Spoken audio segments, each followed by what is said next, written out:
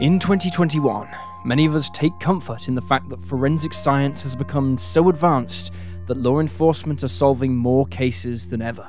It's been three years since the Golden State Killer was finally brought to justice, after decades of going free and unidentified.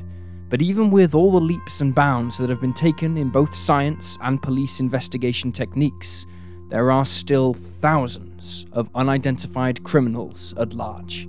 In today's episode, we'll be exploring two terrifying cases of violent criminals who were never caught. But first, I'd like to thank Surfshark VPN for sponsoring today's episode. If you're a fan of Cold Case Detective, you've probably got a knack for late night investigations in all corners of the internet. Whether it's deep dives into true crime, or binging the newest mystery thriller series on your favorite streaming service, we all spend a good amount of time online. But there is a safer way, in addition to an opportunity to access the web from any location in the world with Surfshark VPN. One of Surfshark's greatest keys is its ability to unlock access to servers from anywhere on Earth, be it the United States, the United Kingdom, or even East Asia surf the web from any country in any time zone. This means your favorite television shows and digital programming that's only available in certain territories are now watchable on your own streaming service accounts, like Netflix or Amazon Prime, never leaving you short on options. There's also an additional level of security as well. If protecting your data and information is a priority, Surfshark VPN uses industry leading encryption to secure your data, keeping your browser history confidential and automatically blocking over 1 million known virus hosting websites and other phishing threats. For a limited time, use our code COLDCASE upon checkout for 83% off and an extra 4 months completely for free, and a 30 day money back guarantee. Easily the best price on the VPN market. So grab your magnifying glass, shut those Venetian blinds, and become a better sleuth with Surfshark VPN. And now let's dive in with today's mysteries.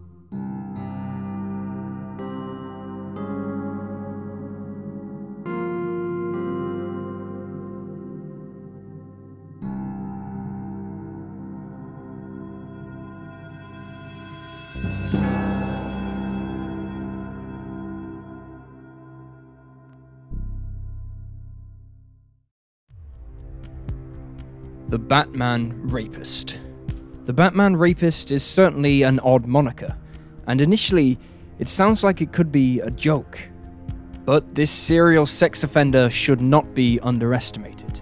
An opportunist who has struck mostly in the city of Bath, England, the Batman Rapist has attacked at least 17 women, although it's entirely possible he has more victims the police do not yet know about. The serial attacker is the subject of Britain's longest running serial rape investigation and has eluded capture since 1991. The investigation into his crimes has been codenamed Operation Eagle and was led by Detective Inspector Paul James up until his retirement from the Avon and Somerset Police Force in 2012.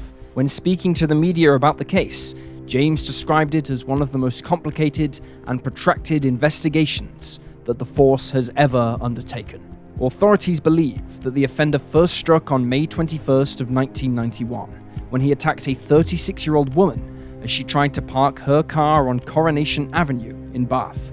One of his final attacks was 8 years later on January 26th of 1999 when he attempted to assault a 39 year old woman on Forrester Lane. However, he was scared off by the woman screaming for help. As he ran, he dropped a faded grey baseball cap with a green Batman Forever logo on the front. This is how he got his name.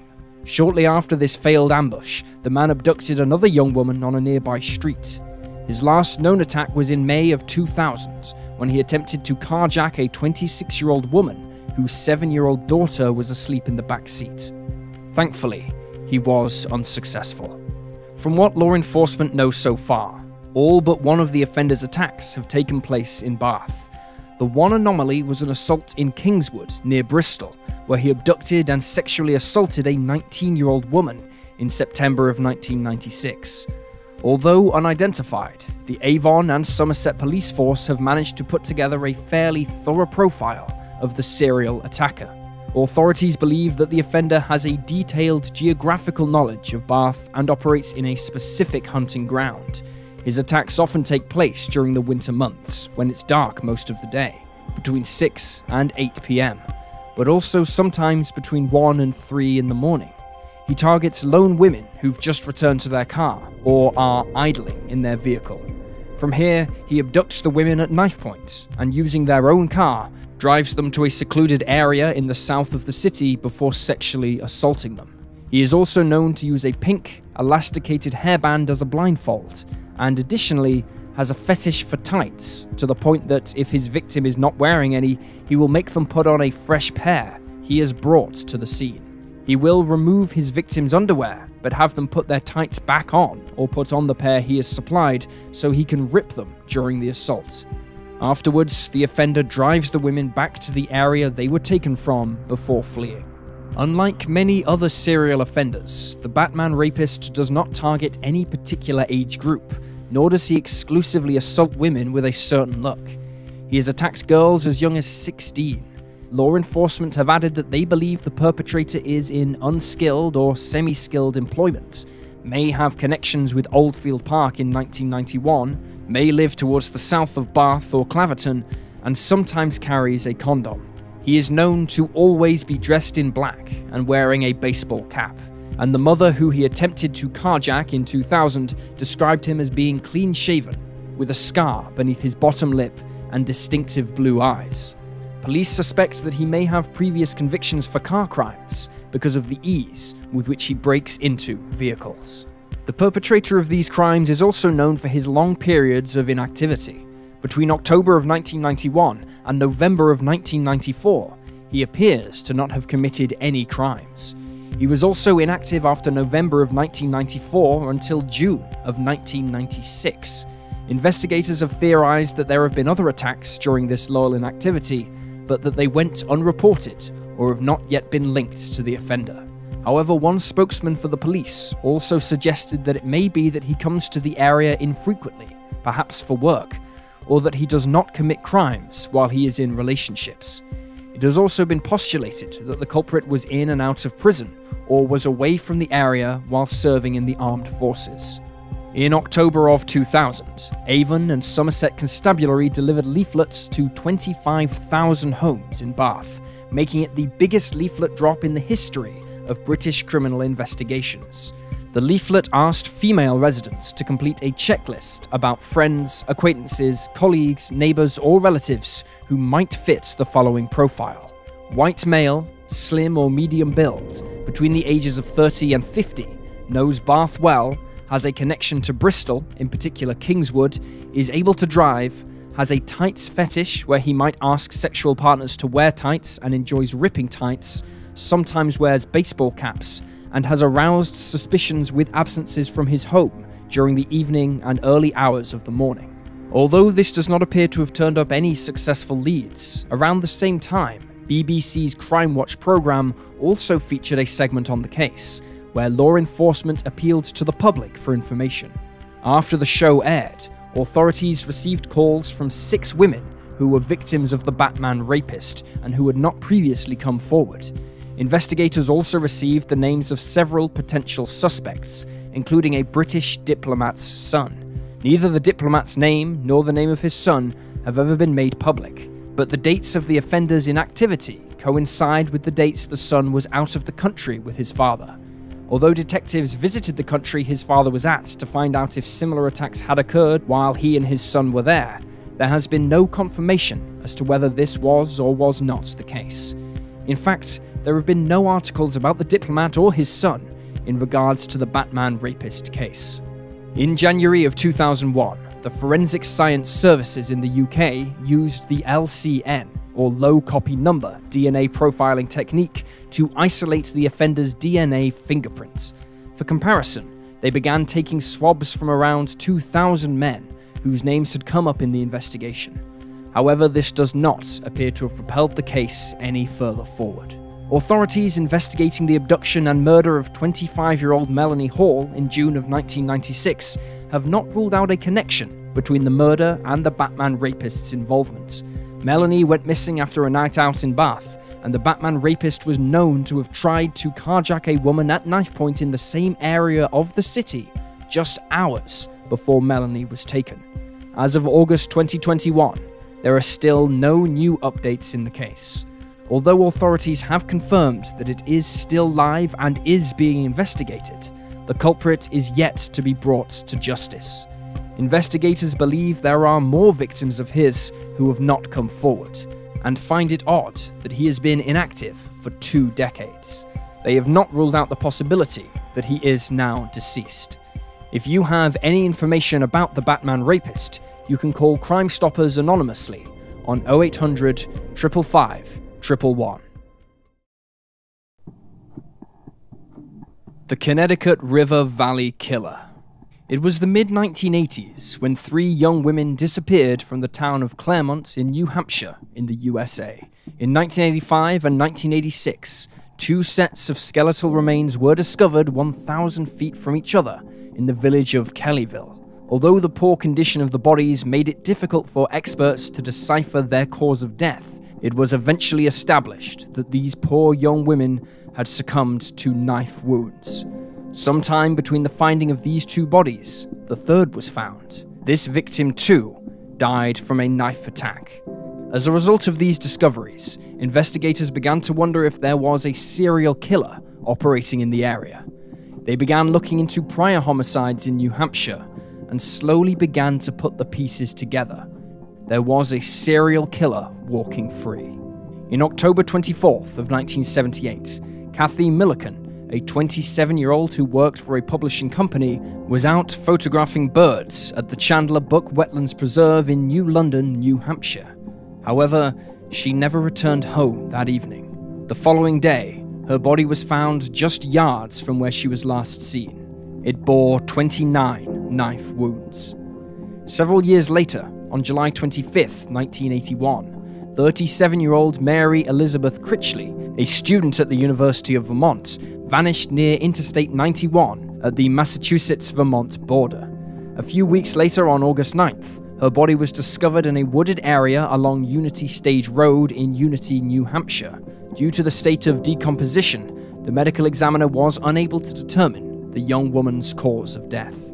Then, on May 30th, 1984, 17 year old nurse's aide Bernice Courtemanche headed out with the intention of hitchhiking to see her boyfriend in Newport. She was last seen by her boyfriend's mother in Claremont and planned to hitchhike along New Hampshire Route 12. However, Bernice never reached her boyfriend's workplace and was subsequently reported missing. Two years later, in April of 1986, her remains were found by a fisherman. Forensic examination of Bernice's body found that she had sustained an injury to the head and multiple knife wounds to the neck. On July 20th, less than two months after Bernice's disappearance, 27 year old Ellen Fried, a supervisory nurse at Valley Regional Hospital in Claremont, made a late night stop to use a payphone in the area. She spoke with her sister for one hour before commenting that there was a car driving back and forth in the vicinity, something which she found odd. Ellen then stepped away from the phone for a moment to make sure that her engine would start before returning. She chatted with her sister for a few more minutes before they hung up. The following day, Ellen failed to report for work, and her car was found abandoned on Jarvis Hill Road, a few miles from where she'd used the payphone. A year later, in September of 1985, her remains were found in a wooded area near the banks of the Sugar River in Kellyville. A post mortem examination showed that she had been stabbed multiple times and sexually assaulted. On July 10, 1985, 27 year old single mother Eva Morse was seen hitchhiking near the border of Claremont and Charlestown in New Hampshire on Route 12. This was the last sighting of the young woman alive. In 1986, her remains were found by loggers about 500 feet from where Mary Elizabeth Critchley's remains were uncovered in 1981. There was evidence that she had been stabbed in the neck. And still, the cases continued. On April 15th, 1986, 36 year old Lynda Moore was doing yard work outside her home in Saxtons River, Vermont. She reportedly lived in sight of Interstate 91. In the evening, her husband returned home to find her dead due to multiple stab wounds, and the home was in disarray, showing that a struggle had taken place. Lynda's attack was linked to the Connecticut River Valley killings due to the timing and the violent nature of the attack, which involved a knife, despite the fact that this murder is quite different to the others, as the 36 year old was attacked inside her home and her body was not dumped in the woodland afterwards. Witnesses reported seeing a slightly stocky, dark haired man with a blue knapsack loitering near the home that day. He was described as being between the ages of 20 and 25, with a somewhat round face and dark rimmed glasses. He was also clean shaven. A year after Lynda's demise, a composite sketch of the man was made and released, although he has never been identified. On January 10, 1987, 38 year old nurse Barbara Agnew was returning home from a skiing outing with friends in Stratton, Vermont, when she disappeared. Later that evening, a snowplow driver found her green BMW at a northbound I 91 rest stop in Hartford, Vermont. The door was ajar, and there was blood on the vehicle's steering wheel. Just a few months later, in March of 1987, Barbara's body was located near an apple tree in Hartland. She had been stabbed to death. Investigators noted that there had been a heavy snowstorm on the night of the 38 year old's disappearance, but that she was only 10 miles from home, leaving them uncertain as to why she'd have pulled over. However, online sleuths have proposed the idea that she thought it was better to wait until the storm had calmed before trying to drive home in it. Then, for about 18 months, it appeared as if the Connecticut River Valley killer had finally stopped. Then, on August 6th of 1988, 22-year-old Jane Boroski, who was seven months pregnant, stopped at a closed convenience store in West Swanzey on her way home from a county fair in Keene, New Hampshire. Outside the store was a vending machine where Jane purchased a drink before returning to her vehicle. Inside the car, she noticed a Jeep parked next to her. In her rearview mirror, she saw the driver of the Jeep walk around the back of her car. He stopped at her window and asked if the payphone outside the store worked before grabbing Jane and pulling her from the car.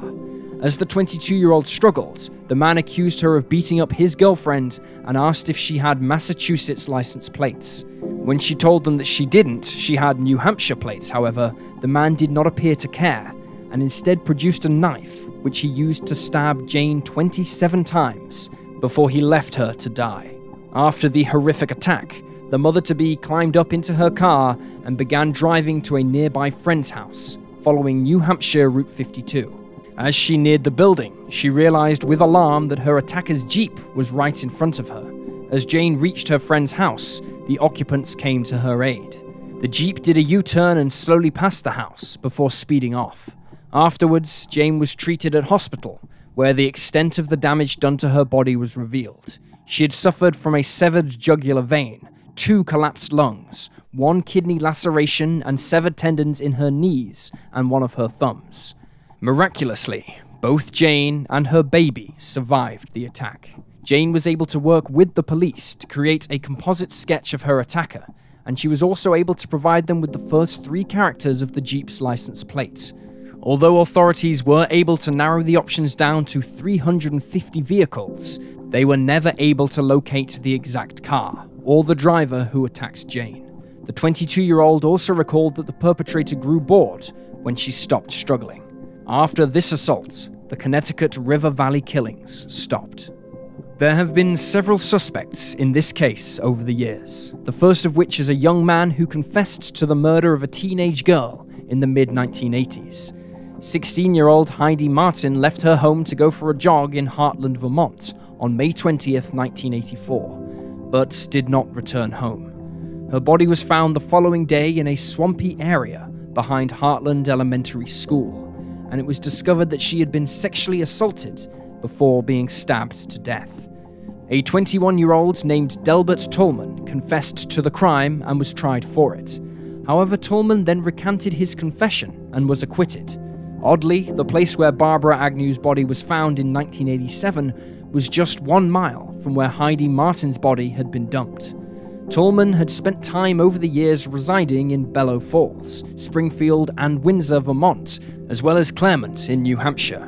About a decade later, in 1996, he was convicted on two counts of lewd and lascivious conduct with a child and imprisoned at Lake County Prison in Florida for failure to comply with the sex offenders registration requirements. He was later released in October of 2010. The fact that he is still suspected of being involved with the murder of Heidi Martin is what gave way to the theory that he may be the Connecticut River Valley murderer. However, at this time, there is no publicly available evidence which shows that Tolman was the perpetrator or was involved with any of those murders. Another suspect in the case was a man named Gary Westover, a 46 year old paraplegic from Grafton, New Hampshire, who told his uncle, a retired Grafton County Sheriff's deputy, that he had a confession to make. Westover told his uncle, Howard Minnan, that in 1987 his friends picked him up for what he thought was a night of partying. They loaded his wheelchair into the van, and the foursome headed off to Vermont. Here, Westover claimed that they abducted and murdered Barbara Agnew, the final victim of the Connecticut River Valley killer, before dumping her body. Westover wrote down the names of his friends, and Minnan passed the information to the authorities, but felt that investigators were uninterested in the story. Westover died in March of 1998, while Minnan died in 2006, although he told his wife and daughter about his nephew's confession before his death. In August of 2006, one of Westover's aunts wrote a letter to Anne Agnew, Barbara's sister, with the information given by the 46 year old before he died. Anne forwarded this letter to a private investigator named Lynn Marie Carty, who suspected that Westover had met a man named Michael Nicolaou at a Vermont hospital, and that Nicolaou was possibly the Connecticut River Valley killer. It has never been confirmed, however, that the two did meet. Carty had originally been hired to investigate the disappearance of Nicolaou's first wife, Michelle, who disappeared from Massachusetts in December of 1988 and whose family suspected that Nicolaou had killed her. Over time, Carty began to feel that there was more to the ex soldier than what appeared on the surface. Nicolaou reportedly had an unstable childhood and grew up in several rough neighborhoods. After serving as a helicopter pilot in the Vietnam War, he was returned to the US with severe post traumatic stress disorder and was treated at hospital for it. In the 1980s, he opened a pornography shop but was soon charged with selling indecent material, and two weeks later, his store was robbed. It wasn't long before the business collapsed. In 1988, he was working as a drywaller. His friends and associates claimed that he made his living by working odd jobs and selling cocaine on the side.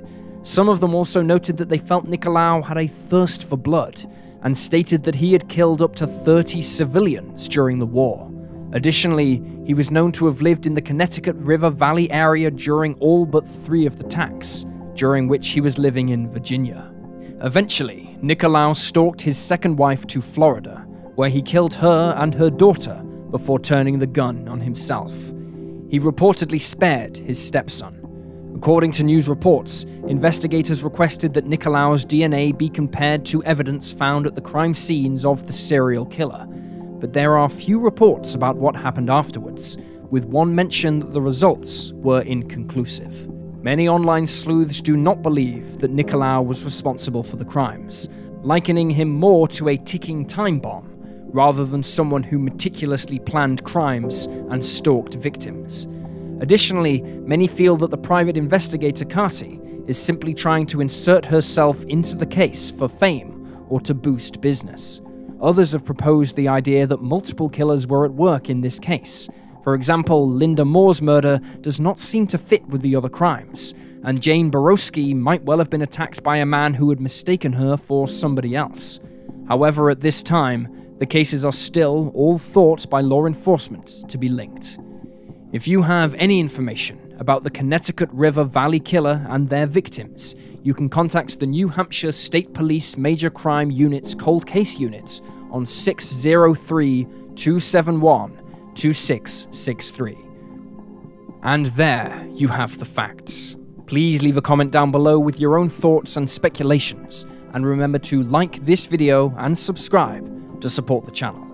You can also support us on Patreon for as little as $2 each month. Thank you for watching. Stay alert, stay safe, and I'll see you next time.